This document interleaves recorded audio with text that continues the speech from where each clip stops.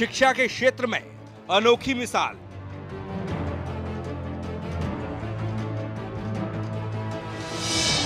सरकारी स्कूल में smart class.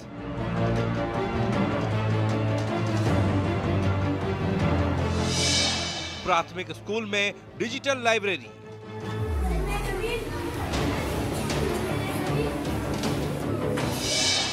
Attendance भी लगती है बायोमेट्रिक।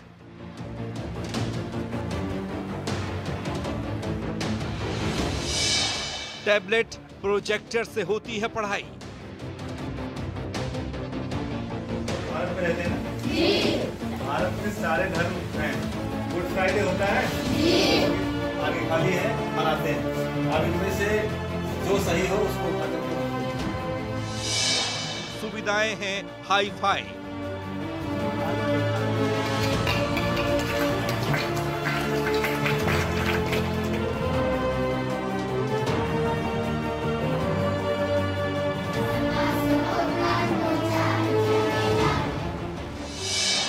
शिक्षा का सितारा। स्वागत है आप सभी का आर नाइन टीवी की खास पेशकश में। मैं हूँ जब्बार खान। शिक्षा गुणवत्ता की रैंकिंग में उत्तर प्रदेश का नंबर हमेशा से निचले पायदान पर रहा है। स्कूल एजुकेशन क्वालिटी इंडेक्स 2019 की रिपोर्ट में उत्तर प्रदेश का नाम सबसे नीचे रहा। हालाँकि नीति आयोग ने साल 2016 और 2017 के आंकड़ों पर आधारित रिपोर्ट तैयार की थी। आज तीन साल बाद भी स्थिति बदली नहीं है। लेकिन उत्तर प्रदेश में एक ऐसा सरकारी स्कूल है जिसकी तुलना चीन और जापान से की जाती है। कहाँ है ये स्कूल? और क्या खास है इस स्कूल में जो इसे उत्तर प्रदेश के दूसरे स्कूलों से बिल्कुल अलग बनाता है?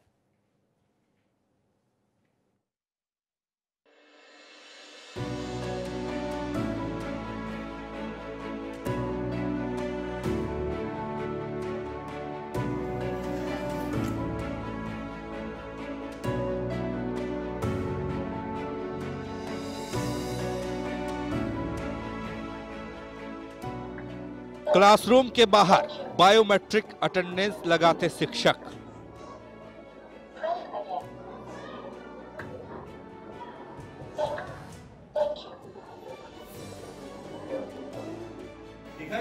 छत पर लगे प्रोजेक्टर से पढ़ाई करते छात्र छात्राएँ तो भारत में रहते हैं ना? जी।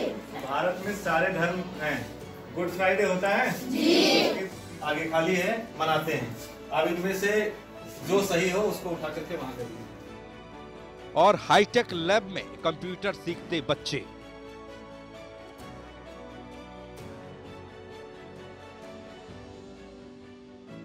पहली नज़र में आपको ये किसी प्राइवेट स्कूल सरीका दिखाई देगा, जहाँ सुविधाओं की कोई कमी नहीं होती।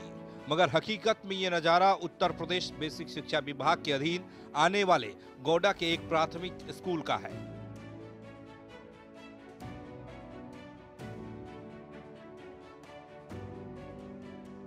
हमें पता चला कि गौडा ज़िले के करैनगंज तहसील में धौरहरा प्राथमिक विद्यालय की तुलना चीन और जापान जैसे मुल्क के स्कूलों से की जाती है। तो इस दावे की पड़ताल करने आर नाइन टीम जा पहुँची सरस्वती के उस आँगन में, जहाँ गरीब बच्चों के लिए शिक्षा की लौ जलाई जा रही है। यह विद्यालय चर्चा का विषय बना हुआ है। अमेरिका, वियतनाम, हांगकांग और कनाडा का डेलीगेशन यहाँ तक आ चुका है और यहाँ के शिक्षकों व बच्चों की तारीफ़ कर चुका है। ऐसे स्कूल में आज हम पहुँचे हैं और हम यह जानने की कोशिश करेंगे कि किस तरीके से यहाँ के शिक्षक ने ऐसी व्यवस्थाएँ दी जो देश ही नहीं विदेशों में भी अपना नाम कर चुका है। आर नाइन की टीम उस वक्त स्कूल पहुँची जब प्रांगण में छात्र छात्राएँ प्रार्थना कर रहे थे। विश्वास कमज़ोर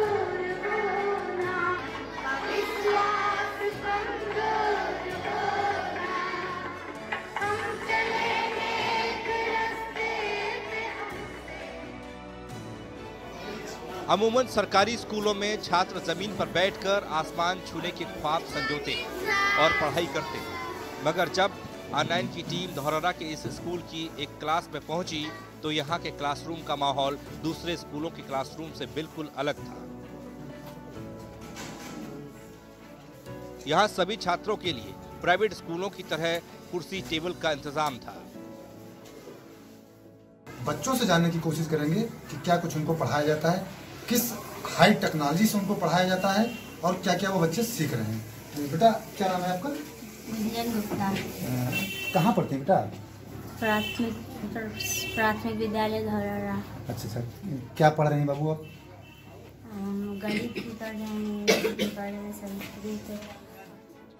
ये सरकारी स्कूल कॉन्वेंट स्कूलों को मात देता है। यहाँ करीब साढ़े तीन सौ बच्चे पढ़ाई करते हैं। बताया जाता है इन बेहतर सुविधाओं के चलते स्कूल में एडमिशन हमेशा फुल रहता है। सर हमारे स्कूल में बहुत अच्छी सुविधाएँ हैं। बेंच पर रख के किताब पढ़ाई जाती है। और हमारे कंप्यूटर से कंप्यूटर से भी पढ़ाया जाता है। राष्ट्रीय और अंतर्राष्ट्रीय स्तर पर स्कूल कई तरह के अवार्ड से नवाजा जा चुका है। इतना ही नहीं कई देशों के डेलीगेशन भी विद्यालय का दौरा कर स्कूल की स्टडी कर चुके हैं। तो लोग जब विदेश से आते हैं चाहे वो अमेरिका के हों वियतनाम के हों हांगकांग के जो स्कॉलर हैं और जो रिसर्चर हैं वो स्कूल में आ चुके हैं। तो देखने आते हैं कि पर्यावरण को ले, लेकर के कितने जागरूक हैं और क्या ये गाँव में बच्चों को और उनके पेरेंट्स को क्या सिखा रहे हैं। सुविधाओं के साथ साथ स्कूल में शिक्षा का स्तर भी कॉन्वेंट स्कूलों जैसा ही है। प्राइवेट स्कूलों की तरह यहाँ बच्चों को समझाने के लिए अनोखे तरीके अपनाए जाते हैं। किस समाजी से जाना चाहते हैं? नाम बताइए पहले उसका। उसी से हम भेजे। हाँ? हम शहर वाली बस बहुत सुंदर सी लाए हैं। जी। लाइट गई। हम पहले जान गए थे गई चलाई जाए?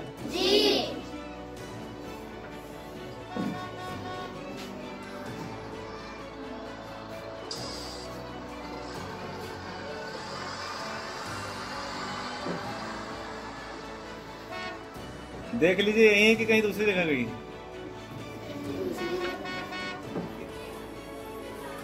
अधिकांश सरकारी स्कूलों में छात्रों को पढ़ाने के लिए पर्याप्त किताबें तक मुहैया नहीं हो पाती मगर धौरहरा के ये छात्र टैबलेट से पढ़कर कॉन्वेंट स्कूल को मात देते हैं। ये आप टैबलेट में कुछ कर रहे थे क्या है ये?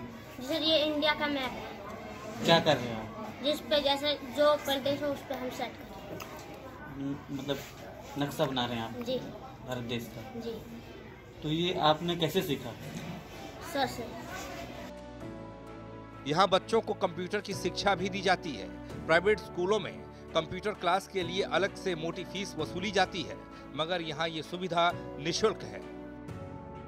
बच्चों को tablet mobile phone projector touch board और ये सारी चीज़ें सोलर एनर्जी बहुत सारी सुविधाएँ उन्हें इकट्ठा किया है। मैं ये चाहता हूँ कि हम कुछ ऐसा करें कि समाज में हमारी एक अलग पहचान हो और लोग वही परंपरा गुरु वशिष्ठ वाली फिर से दोहराएँ। ये थे प्राथमिक विद्यालय धौरहरा के प्रधानाचार्य श्री रवि प्रताप सिंह जी। इनका साफ़ तौर से कहना है कि शिक्षक का मूल काम शिक्षा देना है और सारे शिक्षकों को यही सीख देना चाहते हैं। Shivanand Mishra R nine TV Gonda हकीकत में धौरारा का स्कूल सच में बाकी स्कूलों के लिए एक मिसाल पेश करता है। स्कूल का मैनेजमेंट जितना ध्यान शिक्षा के स्तर पर रखता है, उतना ही ध्यान खेल कूद और दूसरी एक्टिविटीज़ पर भी रखता है। सरकारी स्कूलों के अंदर तरह तरह के गेम्स होते हैं। यहाँ तक कि आए दिन सांस्कृतिक कार्यक्रम भी स्कूल में होते हैं और छोटे बच्चे उनमें हिस्सा लेते हैं।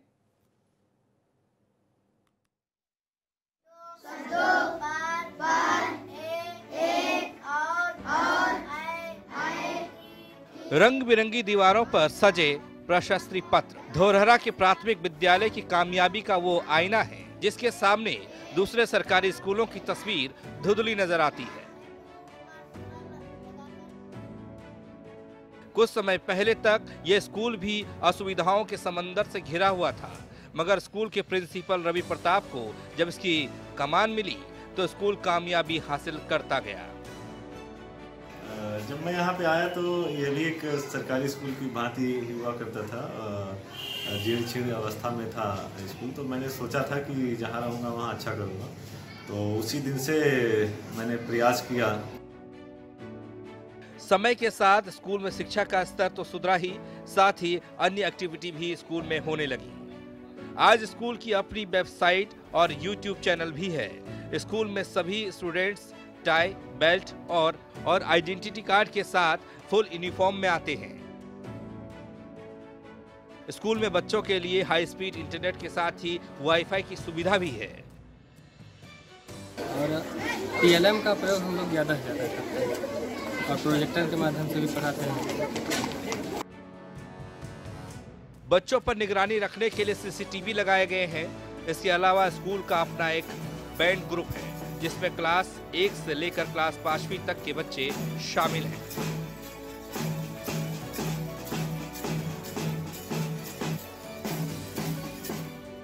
क्या करते हैं? हम पढ़ते हैं खेलते हैं।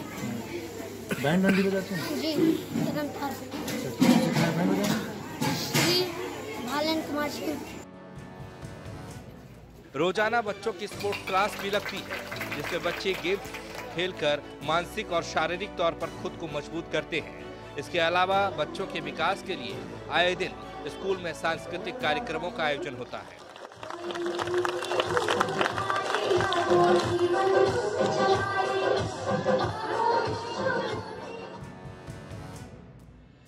शिक्षा और सुविधाओं के साथ साथ बच्चों के स्वास्थ्य का ध्यान भी स्कूल में रखा जाता है। स्कूल में रोज़ाना मिड डे मील मिलता है, जो रूटीन चार्ट के मुताबिक डेली बदलता है। मिड डे मील का किचन भी साफ़ रहता है।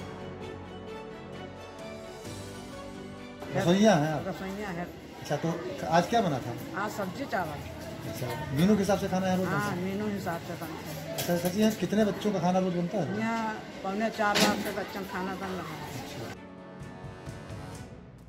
शिक्षा सुविधा जैसे हर पहलू पर खरा उतरता धौरहरा का ये प्राथमिक स्कूल।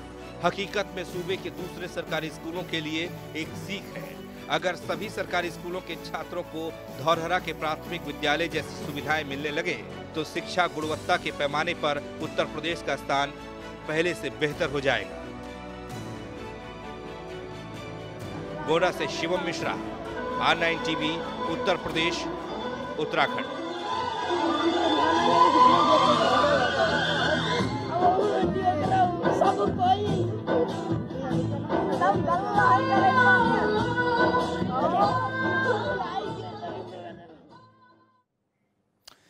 Uttar Pradesh के पूर्वी इलाके जिला गोंडा की यह तस्वीर आपने देखी और गोंडा की तरह गाजियाबाद में भी एक ऐसा स्कूल है जो सरकारी है, मगर स्मार्ट स्कूलों की श्रेणी में आता है। यहाँ के खोड़ा कॉलोनी में सुविधाओं की भरमार है, मगर असुविधा यहाँ किस तरीके से हावी है? कॉलोनी में सड़कों से लेकर के साफ़ पानी तक की सुविधा नहीं है, मगर यहाँ एक ऐसा स्कूल है जहाँ बच्चों को वो भारी सुविधाएँ मिलती हैं जो एक कॉन्वेंट स्कूल में दी जाती हैं।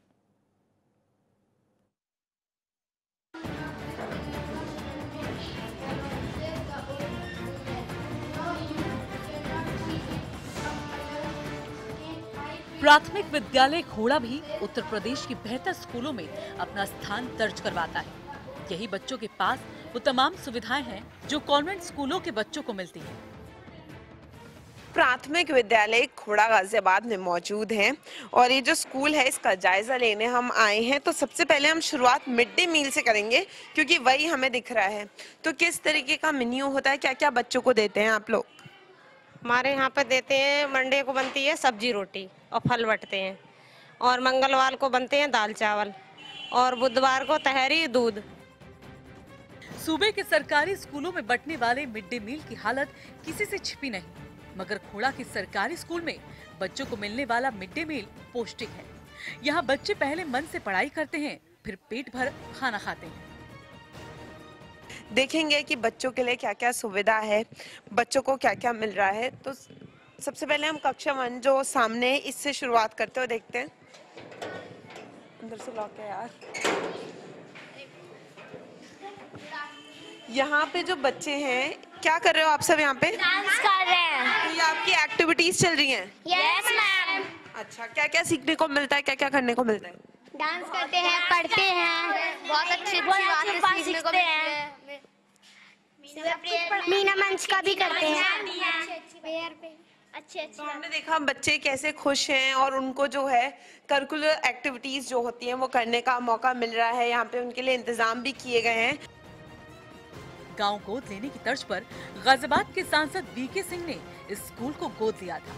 गोद लेने से पहले इस सरकारी स्कूल की हालत भी खराब थी। मगर जब से सांसद की देखरेख में ये स्कूल आया है तब से स्कूल के दिन बदलने लगे हैं।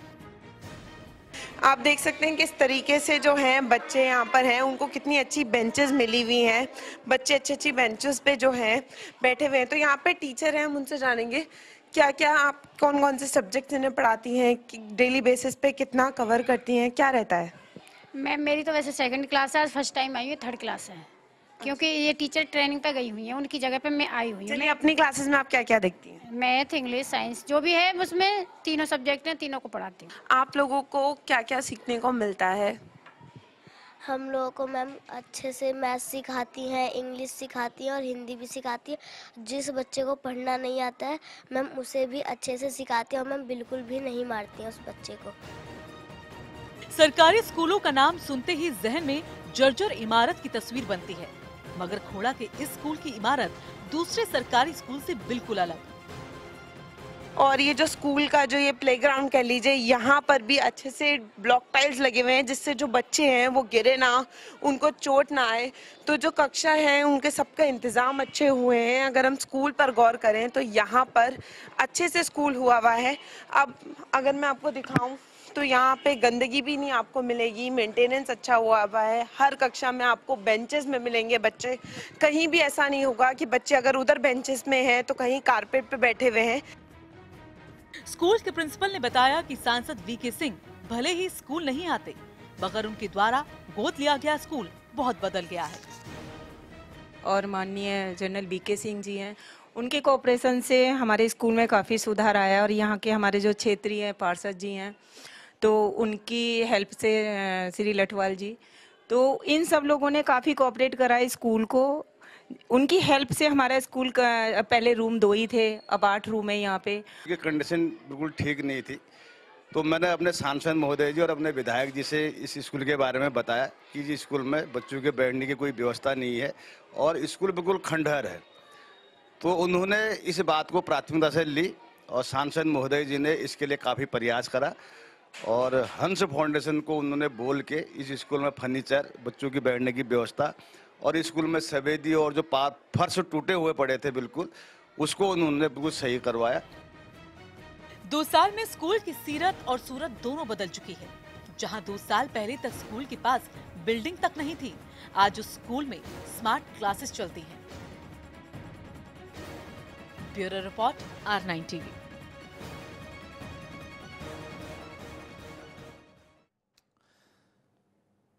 Greater Noida की तरह मुरादाबाद के विधायक अजीत पाल त्यागी ने दो स्कूलों को गोद लिया। विधायक जी ने जब ये स्कूल गोद लिया तो बच्चों को उम्मीद थी कि अब उन्हें अच्छी शिक्षा मिलेगी, मगर ऐसा हुआ नहीं। विधायक जी के गोद लिए दोनों स्कूल आज भी बदहाली के आँसू रो रहे हैं। स्कूलों में न तो बच्चों के बैठने के लिए टेबल कुर्सी का इंतज़ाम है, और ना ही स्कूल की इबारत दुरुस्त हो पाई है।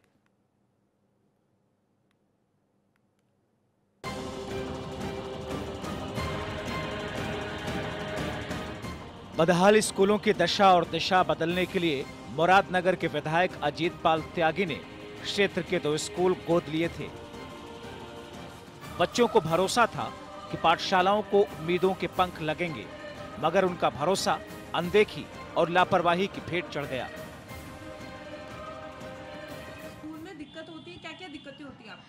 जैसे खाने में दिक्कत होती है और कभी कभी जब बारिश हो जाती है तो यहाँ पानी भर जाता है। और पानी की वजह से बच्चे गिरते हैं और चोट लग जाती है उनके। और जब चोट लगती है तो बड़े बड़े बच्चे भी गिरते हैं। कभी कभी मैम भी गिर जाती हैं। इसलिए ये दिक्कत है और जब वो हो जाती है तो फिर सब बच्चे को चोट क्या होना चाहिए? यहाँ पे फर्श सा बनना चाहिए मतलब लेंटर सा जो डाला है और यहाँ पे हर जगह ये लैट्रिन बाथरूम में सब जगह सफ़ाई होनी चाहिए। विधायक द्वारा गोद लिए स्कूल की स्थिति क्या है, जानने के लिए हम पहले मुरादनगर वाले प्राथमिक विद्यालय पहुँचे। यहाँ बच्चे ज़मीन पर बैठकर पढ़ाई कर रहे थे। इस वक्त हम मुरादनगर के प्राथमिक विद्यालय एक और दो में मौजूद हैं। इसको भी विधायक अजीत पाल ने जो है गोद ले रखा है। अब हम आज इस स्कूल में ये जानेंगे कि क्या क्या किया है विधायक ने। तो जिस तरीके से मैं अंदर गुजर रही हूँ, मुझे टूटी हुई ही बिल्डिंग दिख रही है। पूरी तरीके से जो है टूटा हुआ स्कूल दिखता हुआ दिख रहा है। अब अगर दीवारों पर गौर करें तो पूरी जो दीवारें हैं, वो टूटी हुई हैं। स्कूल की इमारत जर्जर हो चुकी है। अनदेखी का आलम यह है कि स्कूल में टॉयलेट की सुविधा तो है, मगर बच्चों को पानी भरकर वॉशरूम तक ले जाना पड़ता है। तो यहाँ के अगर वॉशरूम्स की बात करें तो आप देख सकते हैं बच्चे बाल्टी में पानी भर के लेके जा रहे हैं यहाँ से। अंदर पानी की सप्लाई तक नहीं है और ना यहाँ पर टाइल्स लगे हुए हैं, ना कोई पेंट हुआ हुआ है, ना सवर समर सीवल इसमें है, कोई तैयारी कुछ भी नहीं हुई हुई है, कुछ विकास की अगर हम बात करें तो कुछ भी नहीं हुआ हुआ है। बच्चों को भी परेशानियाँ होती हैं कि वो इतना इतना पानी भर के लेके जाते हैं। वॉशरूम में उनको पानी मिलना चाहिए वो भी नहीं होता। इसके बाद हम उखलारसी के प्राथमिक स्कूल पहुँचे। यहाँ भी सुविधाओं के नाम पर मासूम बच्चों को विधायक जी का धोखा ही नसीब हुआ।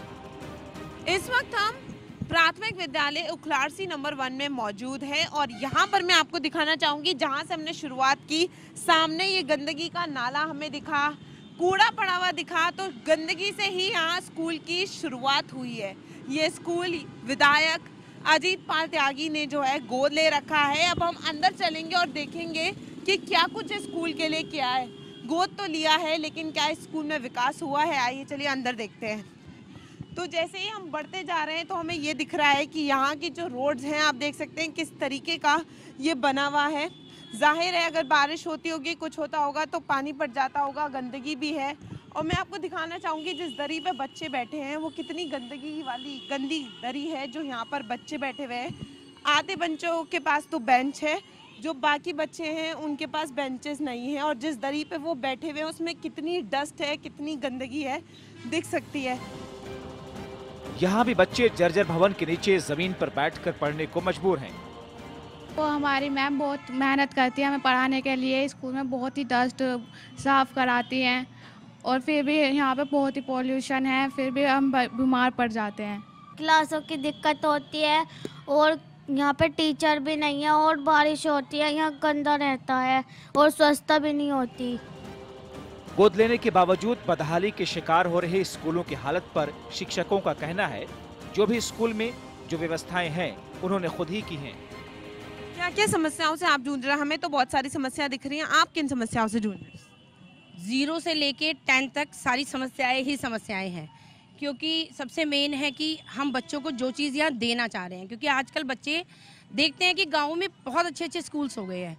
हमारे यहाँ पढ़ाई अच्छी है बच्चे सारे सिटी के हैं लेकिन हमारे स्कूल का इंफ्रास्ट्रक्चर बहुत इन्फीरियर है। आपको मैं दिखाती हूँ ये रूम की हालत ऐसी है कि हमें लगता है ये एक दिन गिर जाएगा। हम्म। पीछे से पानी आता है तो उसमें पूरे रूम में आप देखिएगा पूरा पूरा सीपेज है। हम यहाँ तक कि हमारे ये रूम खाली पड़ा है बच्चों को नहीं बैठा जा हाँ जी इसीलिए। क्योंकि हम बैठ बैठते हैं बच्चे तो नीचे फर्श में भी आप देखिए पूरा पानी आ गया है पूरा पानी आ गया नीचे फर्श में। और और यहाँ पर बच्चे बैठते हैं तो उन्हें ठंड बहुत लगती है। ब्लैक बोर्ड हमारे ख़राब हो चुके हैं लिखने की लायक में नहीं है। किस और आप देखिए बेंच फर्नीचर की कोई व्यवस्था नहीं है। हम यहाँ पे टाट पट्टी भी चाहते हैं तब बच्चे बैठते हैं। और उसमें भी जब नीचे फर्श गीला हो तो आप खुद ही सोच सकते हैं कि सर्दी में बच्चों का क्या हाल होता। है और जिन दरियों पे बच्चे बैठे हैं वो भी काफ़ी डस्ट से भरी हुई है काफ़ी गंदगी से। वो इसीलिए क्योंकि बाहर से बहुत डस्ट आती है और पानी भर जाता है। जब ये दरिया हम ठंड ठंड से बचाने के लिए बाहर भी चाहते हैं तो वो पूरी डस्टी हो जाती हैं। और आप दूसरी क्लासेस में भी देखिए पूरा ये हमारा ग्राउंड ग्राउंड देखिए सारी ईंटें उखड़ी हुई हैं बच्चे बहुत गिरते हैं चोट लगती है। कई बार तो बच्चों को सिर भी फट जाता है। और बहुत सारी प्रॉब्लम यहाँ पे हैं। इंफ्रास्ट्रक्चर की तो बहुत ज़्यादा प्रॉब्लम है। जबकि ये एक मेन रोड का स्कूल है और अधिकारी भी यहाँ पर आते जाते रहते हैं। और सबसे ज़्यादा मेन तो यहाँ पे टीचर्स बहुत कम है। जबकि ये हमारे डिस्ट्रिक्ट में जब इंग्लिश मीडियम स्कूल बने थे तो ये दो स्कूल बने थे। एक ये बना था, एक मटियाला बना था। उसके बावजूद भी किसी के पास टाइम नहीं है कि इस स्कूल की समस्याओं को देखे। स्कूलों की दशा पर विधायक जी का क्या कहना है? आप खुद सुनिए। एक साथ सारे स्कूलों को ठीक करना संभव नहीं था। धीरे धीरे किए जा रहे हैं।